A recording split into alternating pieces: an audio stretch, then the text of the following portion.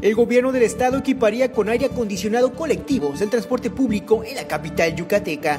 Esto ante el aumento de temperaturas en la entidad, que en días pasados logró superar los 40 grados. Así lo adelantó el actual dirigente del Frente Único de Trabajadores al Volante, Héctor Fernández Vili. Hemos trabajado de manera directa buscándole a los compañeros créditos para renovar sus unidades.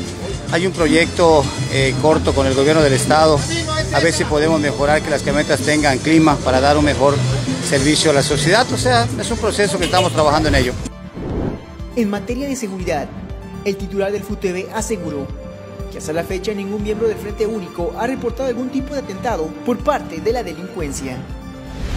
Nosotros estamos bien en cuestión de seguridad, que es lo que deberían tener todos los que prestan un servicio. Pero se ha registrado en tu gente eh, que haya sido asaltada. Bendito sea Dios, no. Afortunadamente no hay este, indicios ni quejas de los compañeros que hayan sido asaltados, que hayan sido golpeados por gente que pues obviamente viene a delinquir. Gracias a Dios estamos a salvo en eso. Con información al momento, reportando para Eclipse Noticias, Wilber Chan. Eclipse, televisión digital.